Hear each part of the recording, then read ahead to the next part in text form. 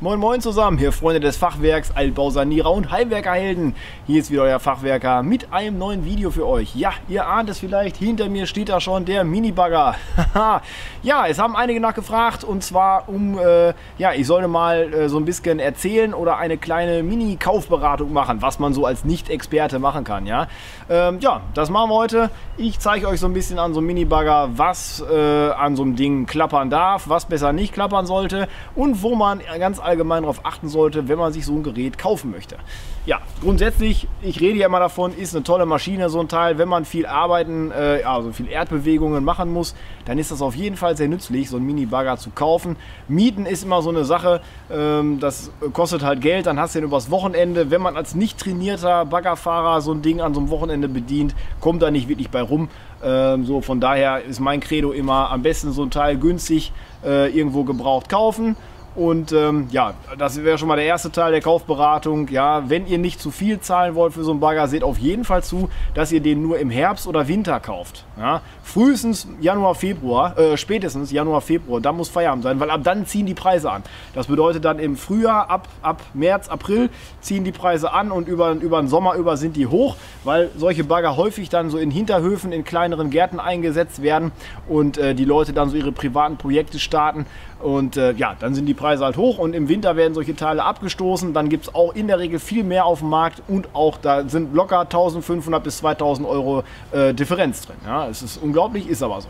Das wäre schon mal der allererste Tipp von vorneweg. Dann wir gehen gleich mal einmal in die Runde und gucken uns die einzelnen Stellen so an.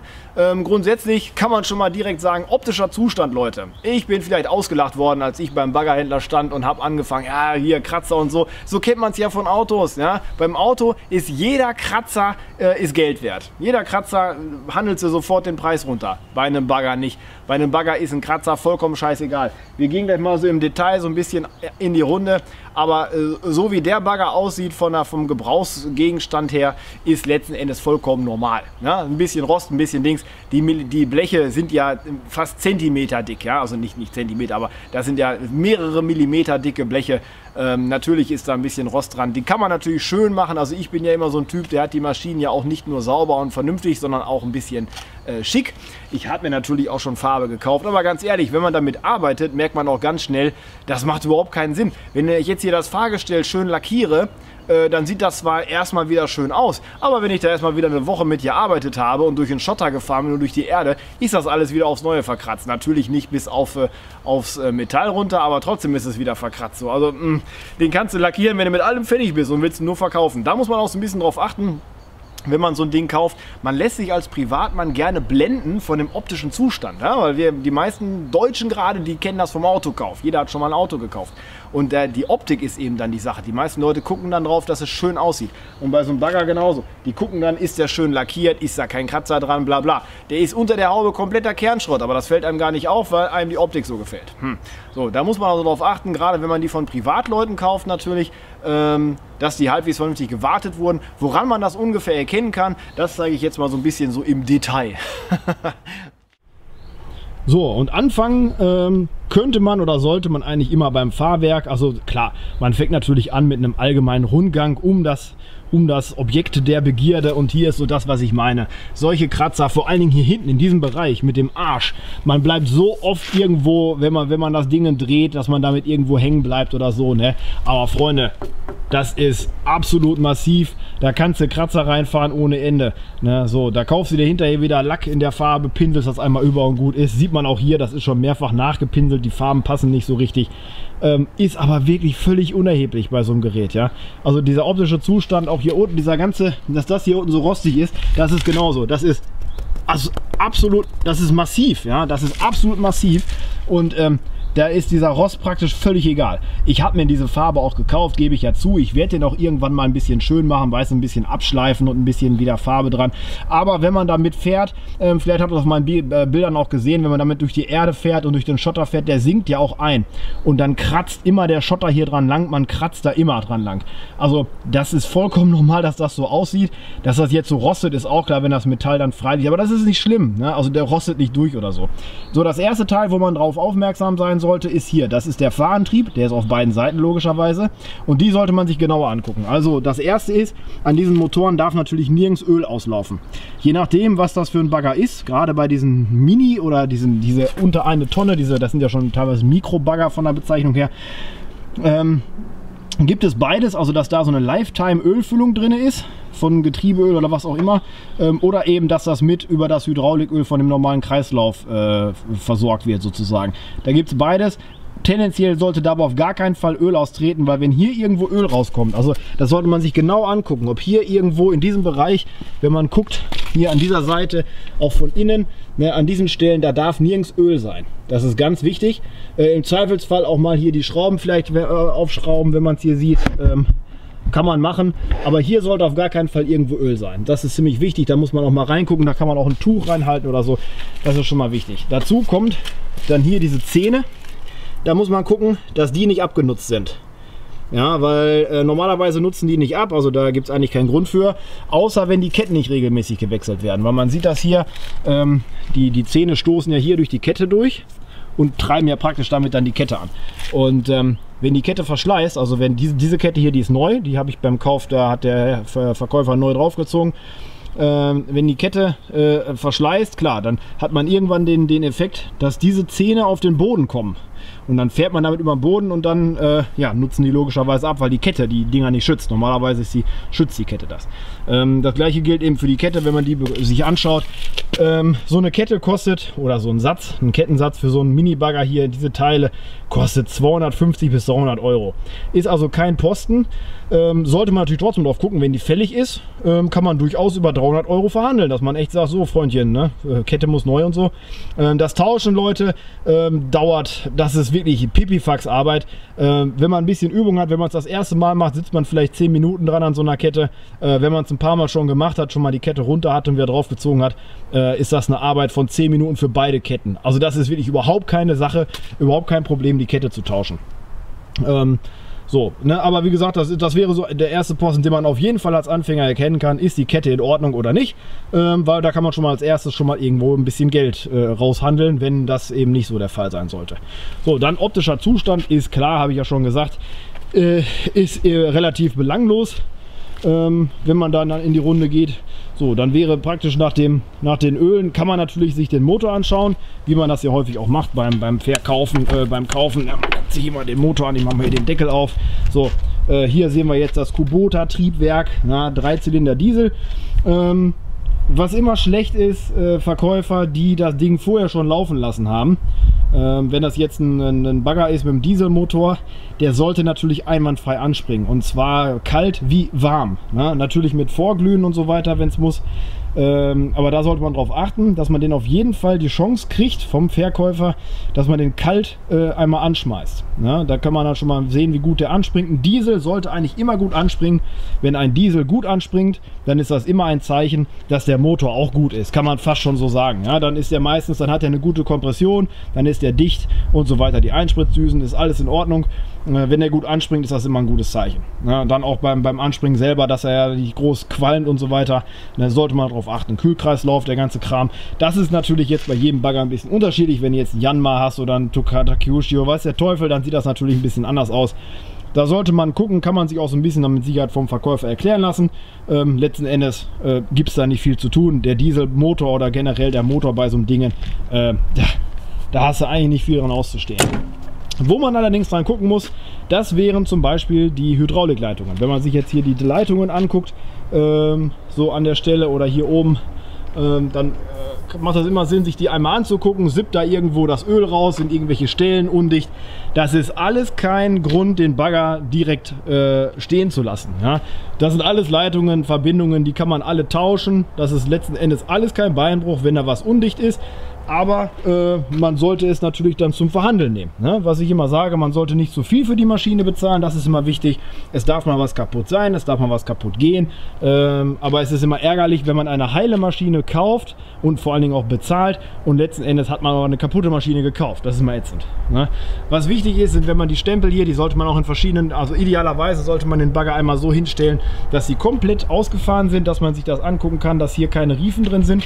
Auch hier wieder, dass hier kein Öl austritt Wenn die Dämpfer un undicht sind oder die, die Stempel, wenn die undicht sind, das ist ein bisschen teurer, das könnt ihr auch nicht selber machen. Ähm, da sollte man definitiv dann drauf achten, wenn da irgendwo ein bisschen Öl austritt, dass man da eben auch entsprechend mit dem Verkäufer das dann verhandelt, wenn es so sein sollte. Und wenn es da, wenn es dann irgendwann zu teuer wird, dann sollte man die besser dann doch stehen lassen.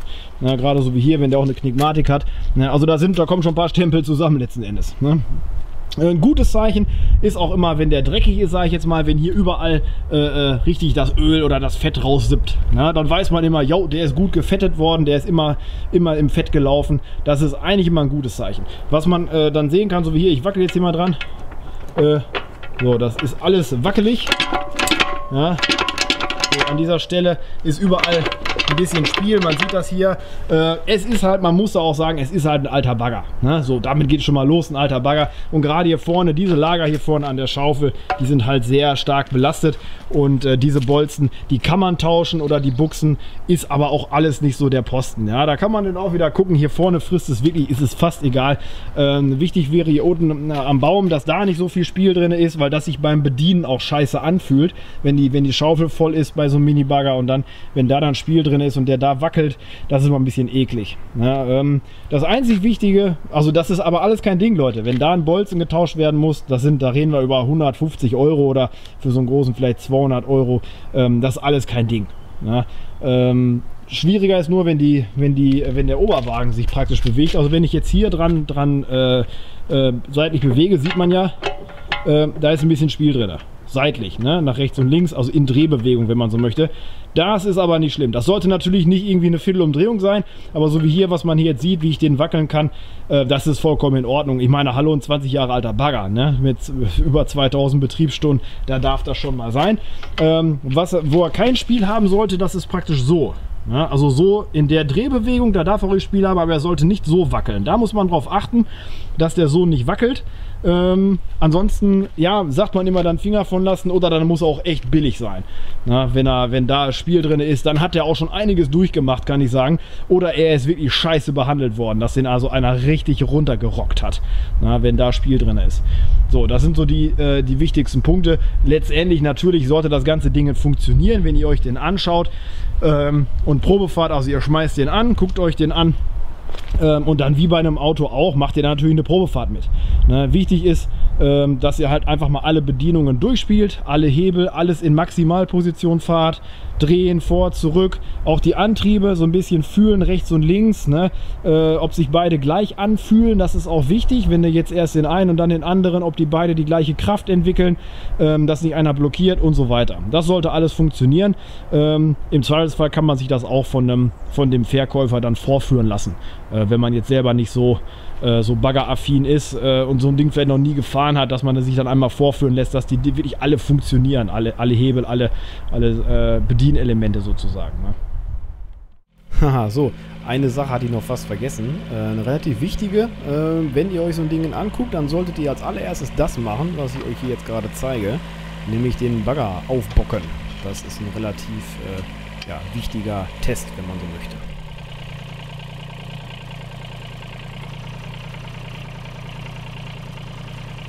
So, das, was ich da jetzt gerade gemacht habe, das ist praktisch das Erste, was ihr machen solltet, wenn ihr so einen Bagger kauft, äh, den einmal aufbocken. Also hinten auf das Schild stellen und vorne einfach mit der Schaufel abdrücken, dass der in der Luft steht. Ähm, und dann auch ausmachen. Das ist das Erste, was ihr machen solltet, weil damit kann man überprüfen, ob die Hydraulik in Ordnung ist. Ja, ähm, der sollte dann innerhalb der nächsten 10 Minuten, 20 Minuten, die ihr da steht und euch den Bagger in Ruhe von oben bis unten anschaut, sollte der auf gar keinen Fall in irgendeiner Art und Weise runterkommen. Der sollte immer so stehen bleiben. Ja, bei ausgeschaltetem Motor. Ja, ähm, das ist ziemlich wichtig. Wenn dem nicht so ist, dann lasst er den am besten direkt stehen. So sieht es nämlich aus. So, und hier möchte ich euch jetzt einmal kurz noch zeigen, so eine kleine Kür, ähm, was man machen sollte. Klar, was ich eben schon meinte, einmal alles ein bisschen bewegen, den Arm bewegen, die Schaufel bewegen, gucken, wo es so juckelt und klappert. Äh, man muss ein bisschen beachten, wenn man jetzt so wie da, momentan ist der Schild oben und dann ist ja so ein Mini-Bagger echt instabil. Also je nach Spurbreite ist der echt instabil und äh, man sieht dann auch das Gewackel. Das kommt hauptsächlich tatsächlich vom Fahrgestell, ja, also die Verbindung zum Boden, dass der da wirklich wackelt. Äh, da muss man sich also nicht von irritieren lassen. Ähm, so, wenn er jetzt den Schild runterfährt, sieht man sofort, dass der wesentlich stabiler steht.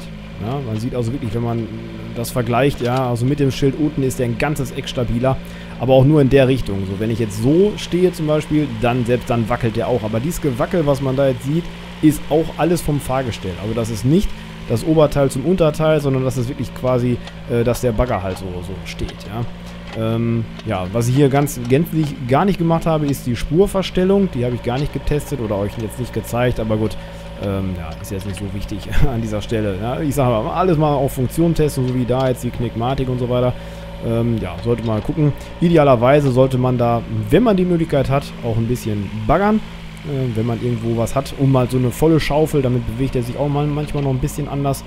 Aber naja, das ist im Prinzip auch schon alles, dass man den einmal in die Runde dreht, ein bisschen guckt, ob das alles so läuft, auch mit den Antrieben, was ich schon meinte, vor, zurück, mal gucken, ob die sich auch von den Hebeln her, ob das beidseitig gleich funktioniert, nicht, dass eine Seite schwächer ist als die andere und ähm, ja, dass das alles so ein bisschen symmetrisch ist. Ja, man merkt auch gerade bei so einem Kubota dann, dass der auch recht smooth äh, läuft sozusagen, ja, also dass das nicht so abgehackt ist wie vielleicht bei so chinesischen Dingern. Ja, das ist eigentlich so im Prinzip schon das Wesentliche. Ja, man kann eigentlich alles einmal durchspielen. Man kann so ein bisschen aufzählen, wie viele Bolzen sind jetzt wackelig. Ähm, zieht einfach dann pro Bolzen 100 Euro von der Rechnung ab. Beziehungsweise, ne, wenn ihr so einen Durchschnittspreis für den Bagger habt, ähm, dann würde ich pro Bolzen mindestens einen 100er abziehen, der am Wackeln ist.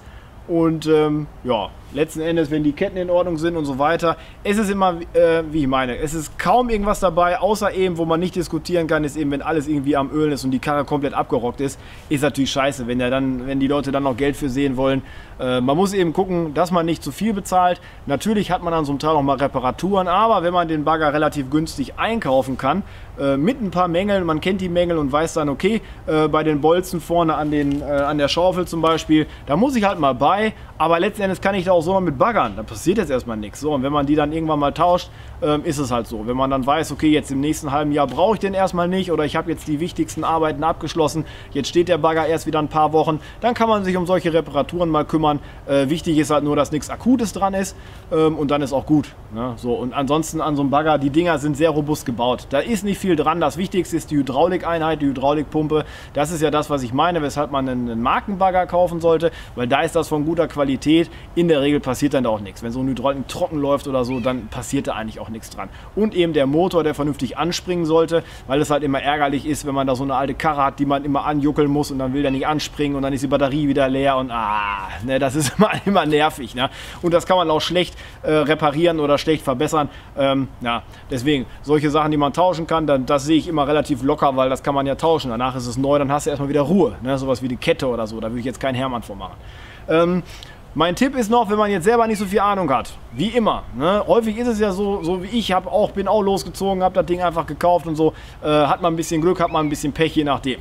Äh, was immer gut ist, klar, wenn man irgendwen kennt in, einer, in einem Bekanntenkreis oder einem Freundeskreis, wie auch immer, die sich mit solchen Maschinen auskennen, äh, den man einfach schlichtweg mitnehmen kann, der so einen Bagger schon mal gefahren hat, der weiß, wo man drauf achten muss.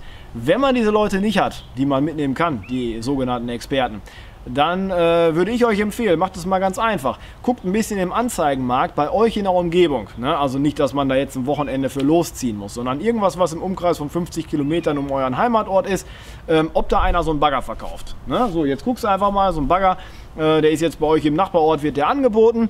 Äh, Preis ist erstmal egal. Das kann ja auch ruhig ein fast neuer, das würde ich sogar empfehlen, einmal so einen fast neuen sich anzugucken mit echt wenig Betriebsstunden. Äh, so, also auf jeden Fall unter 1000, ne? irgendwie was um 500, 800 äh, Betriebsstunden vielleicht, äh, weil das ist praktisch neu bei so einem Ding. Ja? Ähm, sich so einen einfach mal anzugucken, ne? zu sagen, ich interessiere mich dafür und dann fahrt er da einfach mal hin, das ist ja unverbindlich. So, dann fahrt er da hin, äh, guckt euch den an, setzt euch da drauf und bedient den einfach mal. Lasst euch den zeigen und dann kriegt man so ein Gefühl, wenn man so dreht, äh, wie der so wackelt oder eben auch nicht wackelt, wie stramm der sich so anfühlt, wie viel Kraft, ne, wie der sich so anfühlt. Man muss natürlich, gebe ich zu, so ein bisschen affin zu Maschinen sein, um das selber zu fühlen ja, wie, wie die Maschine sich. Aber das ist ja letzten Endes die Erfahrung, die man dann braucht, dass man so einen relativ neuen Bagger mal gefahren hat. Vielleicht habt ihr euch auch schon mal so einen Bagger ausgeliehen, ne, sodass ihr einfach mal die, die, die Ausleihbagger sind ja in der Regel auch relativ gute neue Maschinen meistens. So, und ähm, dass man einfach mal ein Gefühl dafür kriegt, wie fühlt sich eigentlich ein neuer Bagger an. So, und dann ähm, gibt es vielleicht irgendwann mal das Angebot, einen, einen, relativ alten Bagger zu kaufen. Also relativ, ne? also auf jeden Fall einen günstigeren mit mehr Betriebsstunden und so weiter und so fort. Ähm, und dann, wenn man sich da dann drauf setzt, dann spürt man natürlich auch äh, den Unterschied zwischen dem relativ neuen Bagger und jetzt dem, wo ihr jetzt drauf sitzt. Und wenn der Unterschied nur marginal ist, dann kannst du schon mal sagen, okay, der hat zwar 2000 Betriebsstunden auf der Uhr, aber letzten Endes von dem neuen Bagger fühlt er sich gar nicht so viel anders an. Ist so ein cooler Deal. Ne? So, da hat man schon mal ein gutes Gefühl und weiß, woran man ist. Ne? Weil man einfach einen, äh, so ein Delta äh, definieren kann zwischen einem neuen und einem alten Bagger und plus dem Preis, der da dazwischen liegt. Ne? Das ist wie bei Autos auch. Ne? Das ist äh, bei einem gewissen Kilometerstand oder es kommt ja auch auf den Zustand ein, es kommt einfach auf die Wartung an, wenn so ein Ding vernünftig gewartet wurde. Dann kann der auch nach 3000 Betriebsstunden immer noch so laufen, als äh, wie manch ein Bagger mit unter 1000. Ja, weil der einfach vernünftig behandelt wurde, vernünftig gewartet wurde und dann funktioniert die Maschine auch mit 2.000, 3.000 äh, Betriebsstunden immer noch tipptopp. Es gibt aber auch solche, die haben 2000 auf der Uhr und die sind komplett abgerockt. Ja, da wurde, die wurden immer über, ihren, über ihrem Limit betrieben, die wurden immer getreten wie sonst was. Da sind nur irgendwelche Mungos mit unterwegs gewesen, die das Ding nur durch die Gegend gerissen haben dann ist der mit 2000 Betriebsstunden komplett im Arsch. Aber um das eben feststellen zu können, muss man ja irgendwie mal ein Gefühl dafür kriegen, wie fühlt sich eigentlich ein guter Bagger und wie fühlt sich ein schlechter Bagger an. Klar, wenn das ganze Ding nur noch am, am Rappeln und am Wackeln ist und da ist kein Bolzen mehr gerade, dann weißt du auch, da, da, da solltest du besser nichts mehr für bezahlen. Ne? Aber ähm, die, diese ganze Zwischengrauzone ist eben schwierig zu erörtern. Deswegen, wenn man sich so ein paar Dinger mal einfach anguckt oder vielleicht leitet auch einfach mal so ein Teil übers Wochenende aus, um da mal ein bisschen mit zu baggern, dann merkt ihr relativ schnell, wo die Reise hingeht. Und wenn ihr euch dann so einen relativ alten, ist es ja meistens gebrauchten, dann kauft für eine schmale Mark, dann wisst ihr immerhin, woran ihr seid. Das ist äh, auf jeden Fall immer ein Hinweis wert. Zu dem Hinweis Betriebsstunden, klar, die haben einen Betriebsstundenzähler, die meisten Bagger haben einen Betriebsstundenzähler, aber ich würde da nicht ganz so viel drauf geben, was da an Betriebsstunden drauf ist, weil es fast nicht nachvollziehbar ist, ob dieser Zählerstand korrekt ist oder nicht. Bei Autos kennt man es heutzutage, überall gibt es äh, TÜV, überall werden die Kilometerstände festgehalten und so kann man relativ leicht heutzutage nachvollziehen, ob ein Kilometerstand für das Fahrzeug plausibel ist oder nicht. Ja, für den einen Wagen ist 100.000 Kilometer nach 10 Jahren absolut plausibel, äh, für den anderen eben, äh, der hat äh, erst 20.000 Kilometer gefahren in 10 Jahren. So. Und ähm, ja, da fragt, ist immer eine Frage, wie der benutzt wurde. Wenn der nur als Drittwagen in der Garage gestanden hat und nur alle Jubeljahre mal rausgekommen ist, klar, dann habe ich natürlich wenig Kilometer.